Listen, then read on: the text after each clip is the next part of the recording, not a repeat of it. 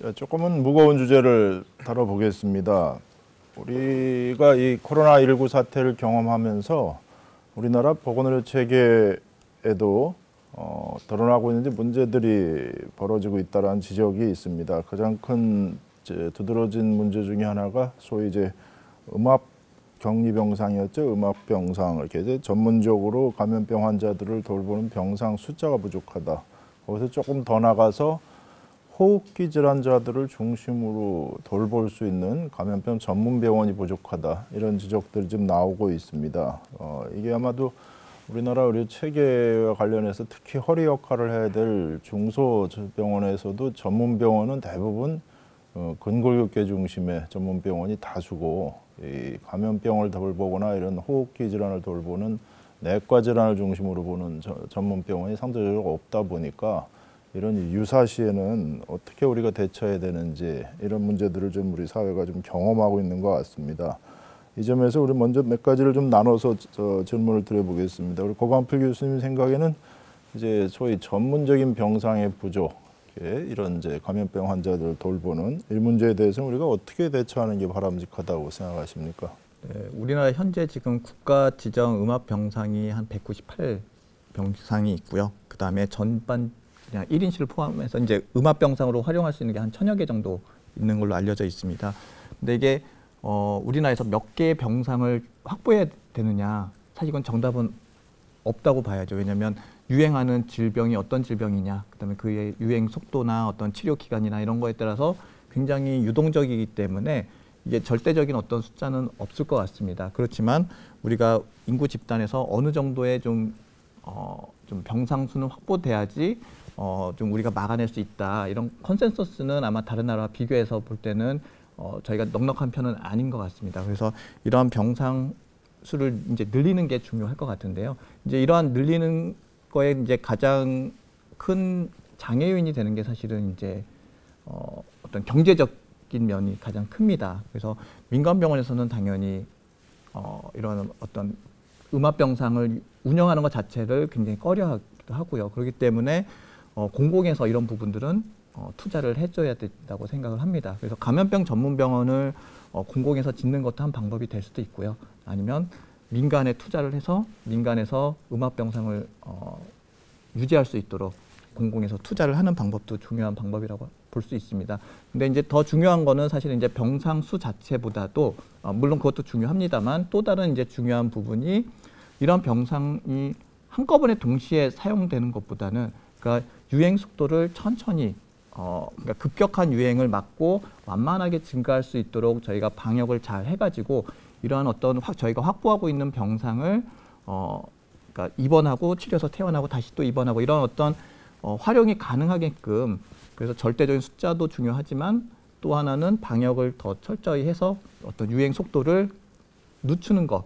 그래서 저희가 갖고 있는 어떤 자원을 가장 효율적으로 활용할 수 있게끔 하는 것도 어, 이제 중요한 거라고 생각이 듭니다. 예, 이제 말씀 감사합니다. 그런데 우리 감염병 전문 병원은 지난 메르스 때도 나왔었고, 그래서 제 기억에 아마 국립중앙의료원이었던 걸로 기억나는데 국립중앙의료원의 감염병 전문 병원을 부설로 저, 짓도록 하자라 이런 논의가 있었던 걸로 알고 있습니다. 그런데 그렇게 잘 추진이 안 되는 큰 이유가 물론 이제 재원이 안 만들어져서 그런 것도 있는데 어, 다른 시각에서 보면 감염병 전문으로 돌보는 병원 이면 그걸 어떻게 어떻게 보면 아주 저기 지역사회 골짜기에다가 산골짜기에다 둘 수는 없으니까 우리가 살고 있는 도시 지역에다 둔다고 가정을 하면 일종의 님비 현상이 또 벌어지는 것 같습니다. 이 병원이 왜 우리 이웃에 내가 살고 있는 터전에 와야 되느냐 이런 형태의 님비 현상을 또 극복을 못하는 문제가 또 있어서 지연되고 있는 걸로 알고 있는데 이 문제까지 포함하면 문제가 조금 복잡해지긴 하는데 우리 최 교수님은 이 문제에 대해서는 뭐 어떻게 접근하면 좋고 최근에 제가 알기로 경주 생활치료센터를 다녀오셨을 거라고 알고 있는데 그런 경험을 좀 소개를 하시면서 조금 의견을 보태주십시오. 네. 저는 이제 말씀해 주신 것처럼 환자의 발생 속도가 급격하게 빨라지면 어떤 정도의 자원을 갖고 있던 것도 대응은 못할 거다 이런 생각이 듭니다. 지금 어, 우리가 유럽에서 보고 있는 상황, 또 중국에서 경험했었던 것, 또 우리나라의 대구 경북 지역에서 발생했던 환자분들의 상황을 보면요. 어, 이게 그걸 다 수용할 수 있는 체계를 가진 나라는 없을 거거든요. 그런 상황. 그러니까 결국 이 유행에 대응할 수 있는 전략이 필요한 것은 맞다고 생각이 들고요. 그렇지만 또 다른 한편으로는 감염병을 전문적으로 다룰 수 있는 체계는 분명히 있어야 되는 거죠. 지금 어떤 문제가 생기냐면 어 이제 이 환자분들이 어, 호흡기 질환 어, 발열 이런 문제를 갖고 있는 환자분들이 코로나19의 가능성이 있고 증상만으로 감별을 못하니까 감기가 대학병으로 와야 되는 상황이 생겼어요.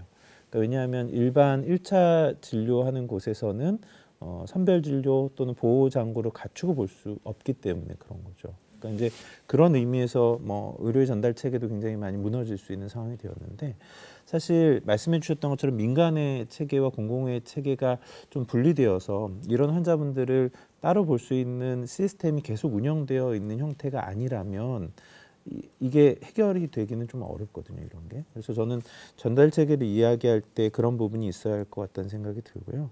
어, 또 제가 이제 갔었던 생활치료센터 같은 경우에는 되게 이제 경증 환자분들을 모시고 있는 곳이죠. 생활치료센터가 초기 혼란이 굉장히 많았습니다. 왜냐하면 아주 많은 환자분들이 동시에 들어와서 진료를 받아야 하는데 정보도 굉장히 부족했었고 어, 또 아주 많은 환자분들을 의료기관이 아닌 곳에서 의료기관처럼 행동을 하면서 봐야 되니까요. 그런 것 때문에 갖는 부담감이나 갖추어야 할 시스템들도 있었던 거죠.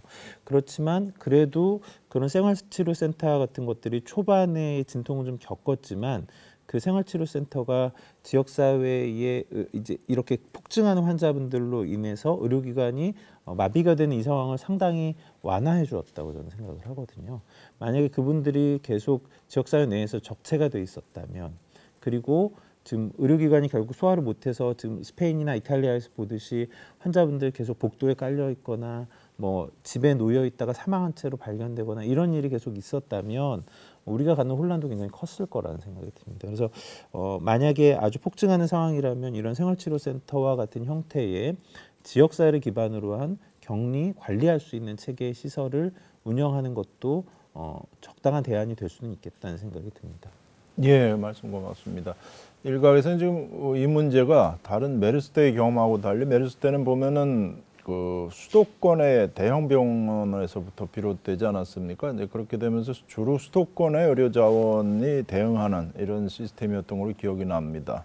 그런 거에 비해서 지금 저희가 경험하고 있는 코로나19는 특히 대구 경북을 중심으로 해서 지역에서 지방 정부에서 어, 벌어지고 있는 일, 일이다 보니까 한 측면에서 우려가 대한민국이 지금 모든 자원이 쏠림이 수도권으로 가고 있고 특히 의료 자원의 쏠림 현상이 수도권에서 많이 펼쳐져 있다 보니까 이 대구 경북에서 멈추면 그나마 다행인데 다른 또 지역으로 퍼지게 되면 우리나라가 현재 자, 어, 갖고 있는 자원의 불평 불- 불- 편중이 수도권으로 쏠려 있는 일 때문에 또 다른 어려움을 크게 거- 겪을 것 같다. 특히 의료 인력의 문제에 있어서 그럴 것 같다라는 지적이 있습니다.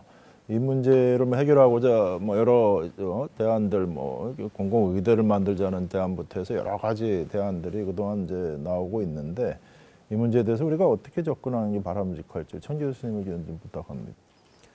아, 예, 어, 말씀하신 것처럼 우리나라 의료 자원은 지역적인 편중이 그 상당히 그 되어 있습니다. 어, 그 또 한편으로는 역사적으로 봤을 때 대유행 때 가장 피해가 컸던 분은 그 거의 예외 없이 그 사회 경제 수준이 낮은 사람, 사회 경제 수준이 낮은 국가들에서 크게 피해가 났습니다. 근데 그런 것들이 그 다른 사회 환경 문제도 있겠지만 결국은 이제 편중된 의료 자원의 문제 때문에 나타났을 수도 있습니다. 근데 위, 위기 상황에서 이제 의료 자원의 배분 문제는 그 이 균형이란 그러니까 즉 그 의료 자원의 균형적 배분이라는 측면도 물론 문제가 되겠습니다만 사실은 그 또 다른 측면에서 보이는 문제들도 있는데 예를 들 예를 든다 그러면 그 위기 상황에서는 의료 자원의 배분 문제가 어, 어떻게 우선순위를 가지냐에 대한 문제로 바뀌게 됩니다. 그러니까 어차피 절대적으로 의료 자원은 부족합니다. 그러니까 의사든 병상이든 치료 약제든 절대적으로 부족한 상황이 이, 이 되고요. 우리나라 같은 경우에는 이제 대구 같은 경우에도 안타깝게도 이제 집에서 병원에 가지 못하고 사망하는 분이 이제 네 명까지 나오는 상황까지 갔습니다만 그 실제로 이제 그런 상황에서 이제 서 문제가 됐던 것은 일단 기본적으로 절대적인 의료 자원의 부족 그 다음에 이제 그거를 해결할 수 있는 의료 시스템의 부족 두 가지가 있었고요. 어 그 다행히 이제 대구 경북 지역에서만 환자가 집중됐기 때문에 환자를 전국에 비어 있는 음압 병동이나 다른 병, 병실을 뺄수 있었고요. 그다음에 다른 지역에 있는 의료인들을 거기다 투입해서 일단 막을 수 있었던 것이 그 특징이라고 볼 수 있죠. 그렇지만 만약에 동일한 상황이 수도권에서 나타난다 그러면 그때는 답이 없습니다. 근데 그때는 그, 그 우리 수도권에 의료, 의료 자원이 많기 때문에 대책이 가능할 것 같지만 실제로 인구 수도 많기 때문에 대구 수만큼의 환자가 발 대구 수- 그러니까 인구 비례로 대구 수- 대구만큼 우리가 그 환자 서지가 일어나면은 환자 폭발이 일어나면은 어 그때는 수도권도 대책이 없어요. 그 사실은 그, 그때 이제 그 당면되는 문제가 우리가 가지고 있는 의료 자원을 어떻게 우선순위를 가지고 배분할 것인가의 문제로 바뀌게 됩니다. 근데 이거는 사실은 지금 상황에서 그 각 지자체나 아니면 정부 차원에서 심각하게 고민하고 그 해결해야 될 문제이죠. 가장 좋은 것은 환자 서지가 환자가 폭발적으로 증가하지 않고 그 우리가 충분히 대비할 수 있는 상황이 되겠습니다만 어 그렇게 되지 않는 상황에까지도 일단은 시나리오 놓고 대비는 해야 된다고 봅니다. 예, 말씀도 좀 감사합니다. 조금 구체적으로 하면 지금 대구 경북에서 크게 어떻게 보면 이제 클러스터라고 해야 되나요? 큰 이제 어떻게 보면 유행이 대유행이 이제 퍼졌습니다. 그런데 만약에 우리 상상을 해서 대구 경북을 벗어나서 다른 광역자치도 수도권을 제외한 이런 데 또 이런 형태의 현상이 돌발적으로 벌어진다 그러면 우리 사회나 우리 지금 정부가 어느 정도 대처 능력이 있다고 보- 보십니까? 아까 우리 국가지역 음압병상이 천 병상 정도 있다고 했는데 어, 천 병상을 만약에 넘어서는 순간적으로 이런 일이 만약에 벌어진다고 상상을 해보면 우리는 그럼 어떻게 대처하는 게 바람직할까요? 최 교수님이나 우리 고 교수님 편한 대로 의견을 주시기 바랍니다. 국가 지정 음압 병상이 이제 198개고요. 이제 전체 음압 병상이 한 1000개 정도 운영이 되고 있습니다. 근데 지금 어 현재 코로나 같은 경우는 그렇게 중한 질환이 아니라고 판단을 해가지고 사실은 일, 일반 병실도 이동형 음압기를 설치를 해가지고 그러니까 음압 병상은 아니, 아니지만 이제 음압 병실처럼 지금 기능을 할 수 있도록 지금 운영을 하고 있고 그러니까 중증도 분류가 굉장히 중요할 것 같습니다. 그래서 중증 환자와 경증 환자 그리고 약간 그냥 관찰 정도 수준에서 할 수 있는 그런 어떤 전달 체계를 만들어 놓는 게 이제 굉장히 중요했었던 것 같고요. 지금 이제 그렇게 운영이 되고 있습니다. 그래서 상급 종합병원은 중증 환자 위주로 가고 종합병원에 있는 어, 음압 병실은 이제 좀 경증 환자, 그럼 더 경한 환자들은 지금 이제 생활질환센터라는 어떤 그런 어떤 전달 체계를 만들어 놨는데 사실 저희가 이제 모든 의료 시스템을 이제 그렇게 전달 체계가 잘 가도록 지금 만드는 게 모든 어, 관객님들의 어, 어떤 희망 상황인데 어찌됐든 요 코로나 사- 관련해서는 어떤 지정을 하긴 했지만 그런 은- 전달 체계가 이런 어떤 부족한 병상을 좀 효율적으로 어, 활용할 수 있는 어떤 한 가지 대안이 되, 되었다고 봅니다. 음, 사실 어, 이동형 음악기는 메르스 때도 이용은 했었죠. 그 당시에는 또 제가 수원병원에 가 있었는데 그때 이제 수- 어, 경기도에 있는 어, 좀 중 경증에서 중등도 정도의 환자분들은 수원병원에서 모아서 보았고 거기에서 중증으로 진행한 환자분들은 이제 이제 분당 서울대병원으로 이송하고 이랬었는데요. 그때도 수원병원이 음압병상을 다 갖고 있었던 상황이 아니었기 때문에 이제 방마다 이동형 음압기를 놔서 방 그 병상 자체를 개조한 거죠. 구조를 개조하고 그다음에 이제 어, 감염내과 전문 의료진이 없으니까 저희가 이제 파견을 나가서 그쪽에서 진료를 했었습니다. 그러니까 어 사실은 이게 중증도냐 아니냐의 문제보다는 어떻게 있는 자원을 활용하느냐의 문제인 것 같아요. 그러니까 이제 되게 중요한 말씀을 해주셨다는 생각이 저는 들었는데, 음, 그러니까 어, 아까 말씀드렸던 것처럼 환자가 폭발적으로 증가하면 어느 지역이든지 그 상황을 해결할 수 있는 지역은 없습니다. 저는 그렇게 생각하거든요. 물론 불균형이 있고 어느 지역은 조금 더 어려움을 겪겠고 그 속도가 더 빠를지는 모르겠지만 제일 어, 병상이 몰려 있는 수도권에서 대구 경북과 같은 상황이 벌어졌으면 이런 혼란이 없었을까 저는 그렇게 생각하지 않거든요. 그 속도를 감내할 수 있는 병상 수는 서울 경기 지역에도 없, 없기 때문에 예, 그래서 그거는 어렵다고 생각을 하고요. 그렇지만 있는 자원을 최대한 활용하는 방법을 찾아야 하는데 그런 말씀해 주셨던 중증도에 따른 분류 그리고 그그 체계에 맞게 환자분들을 배정하는 것 그리고 지금 보면 아직도 잘 해결이 안 되고 있는 부분이 이제 환자분들이 되게 임상 경과를 보면 한 일주일에서 열흘 정도에 나빠지는 환자분들은 그때 나빠지는 경과를 밟습니다. 그리고 나서 이제 호전이 되거나 또는 그 시기가 지나서도 나빠지지 않는 분들은 점점 그냥 증상이 좋아지거나 뭐 경했던 분들은 그냥 그 상태로 있거나 그렇거든요. 근데 뒷부 뒷단이 굉장히 길어요. 환자분들이 그 시기를 지나고 나서 격리 해제 조건을 맞출 때까지 격리되어 있는 상황이 굉장히 긴데 환자분들이 아래 단계에서 위로 올라가는 그러니까 예를 들어서 뭐 어, 전담병원에서 중증 환자를 볼 수 있는 곳으로 이동하고 나서 이미 중증 상태가 해소가 됐지만 그 아래 단계로 이동을 못 하거든요. 그러니까 이 윗 단계에서의 정체가 굉장히 심합니다. 거기서 격리 해제를 못 하니까. 그래서 환자분들이 어, 서로 어, transfer가 가능한 순환이 가능한 구조가 좀 되면 그래서 격리 해제만을 기다리고 있던 환자분들이라면 그 아래에 또 생활치료센터까지도 이동을 해서 어, 환자분들이 좀 배분이 될 수 있으면 현재 갖고 있는 의료 자원을 조금 더 효율적으로 잘 활용할 수 있지 않을까 싶습니다. 예, 예. 우리 최 교수님 말씀 도중에 이제 자- 이동이라는 표현이 등장하고 배분이라는 표현이 등장했는데 그렇게 될래도 사실은 이제 이상적으로 보면 우리가 상급종합병원, 대학병원급의 상급종합병원이 전국에 지금 43개가 있습니다. 대구 경북만 해도 4개 병원이 있죠. 상급, 대학병원급의 상급종합병원이. 거긴 나름대로 이제 작동을 잘 하고 있을 거라고 짐작을 하는데 그 다음 단계에서 소위 허리 역할을 해야 될 저- 종합병원 또는 이제 중소 전문 병원들이 이게 격리 해제 단계에 돼 있다든지 이런 형태의 환자들을 잘 돌볼 수 있는 이제 의료 인력 또는 시설 등이 좀 갖춰줘야 이런 문제들이 다 종합적으로 해결될 수 있을 것 같은데 그 점에 있어서는 상당히 좀 우리가 어, 이태이태하지만 잘 버텨오기도 한 게 사실입니다. 어, 이유 중에 하나는 아마도 대구 경북의 지역이 국한됐던 문제들이 있었던 것 같은데 이제 이게 만약에 다른 형태로 또 퍼지게 되면 어, 또 어려움을 겪을 수 있지 않을까 하는 또 염려가 들고요. 아까 정신병원 이제 말씀을 드렸는데 어, 정신병원 지금 원래 청도 대남병원에서 시작을 했었고 시작 자체가 그러다가 잠잠하다가 어제였죠 대구의 한 정신병동에서 또 집단 감염이 벌어졌습니다. 어 근데 이제 그 아마 그 폐쇄병동을 가보신 경험이 있는 분들은 상상이 되실 텐데 거기서 감염 환자가 발생하면 급속도로 나빠질 가능성이 매우 높은 우리 아주 열악한 상황을 갖고 있는 게 사실입니다. 그 대- 청도 대남병원 환자들을 치료할 때도 어떻게 보면 우리나라가 전, 우리나라가 갖고 있는 정신 관련 정신병 환자 돌보는 자, 자원을 거의 다 이용했거든요.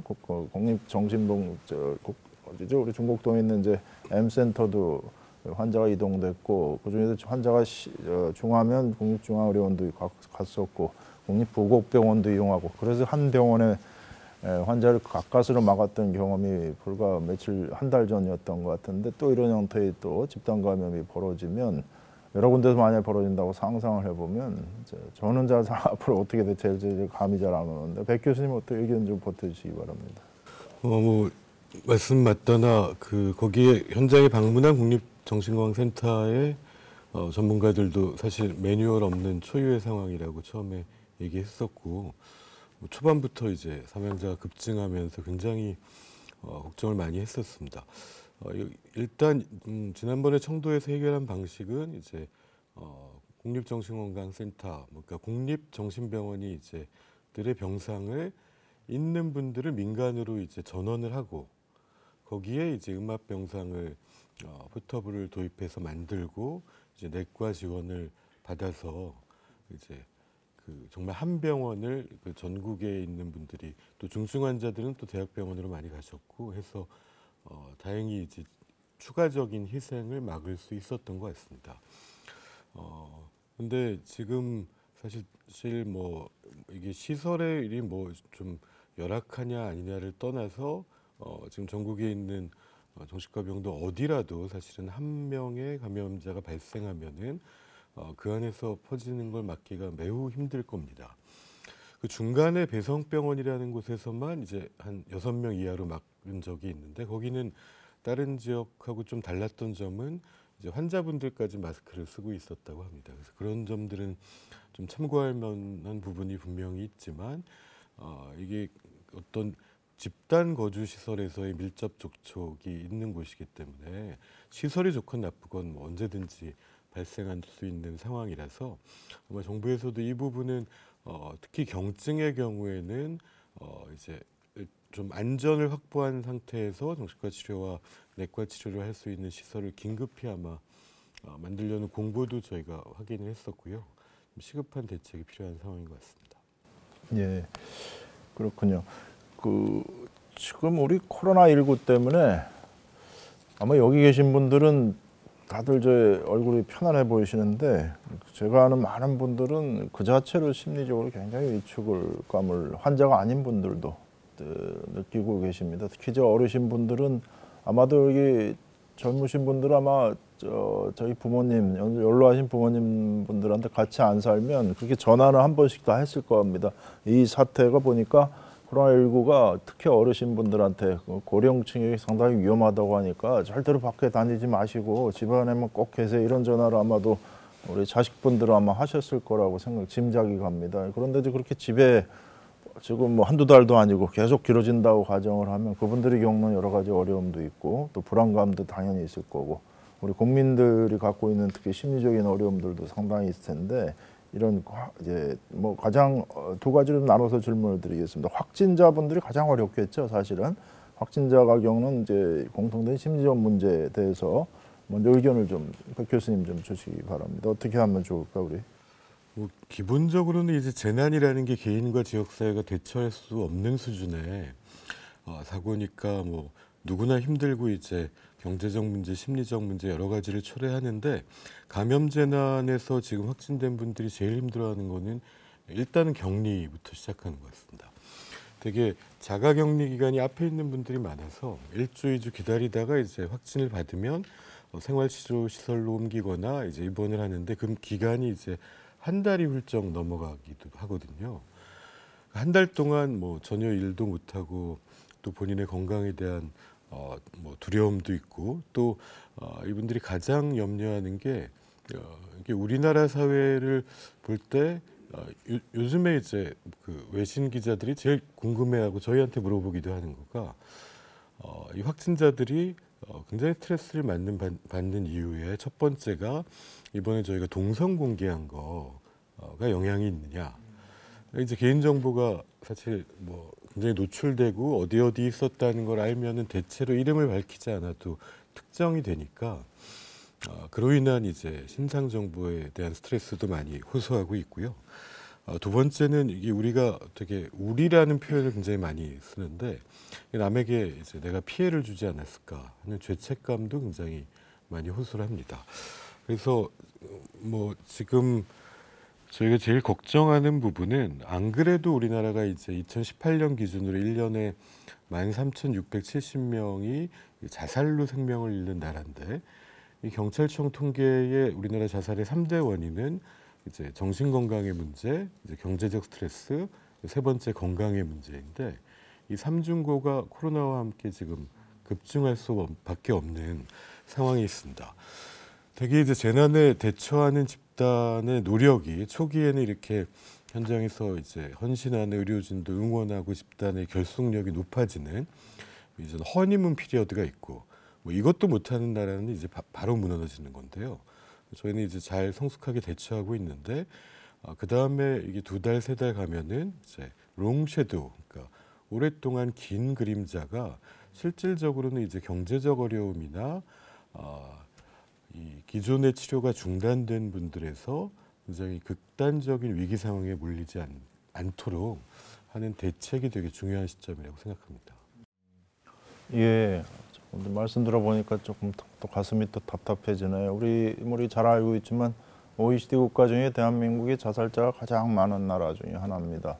어, 그런데 그 자살의 큰 원인이 정신건강 문제하고 경제적 문제로 사실은 지배하게 되는데 우리 지금 경험하고 있지만 이 코로나 19로 인해서 정신적으로도 상당히 외롭고 힘들어지는 계층이 나타나고 있고 대상들이 거기에 또 우리 다 느끼겠지만 이게 사태가 장기화되면 경제적인 문제도 당연히 수반되게 돼 있지 않습니까?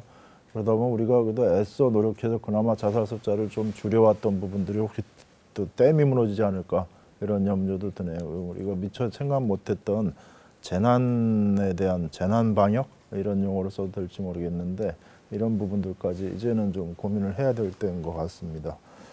예, 요 다음 테마를 넘어가겠습니다. 이제 이번부터는 이제 가짜 뉴스 소위 그다음 유언비어 이런 이제 잘못된 정보 이런 부분들에 대해서 한번 짚어보는 시간으로 가보겠습니다.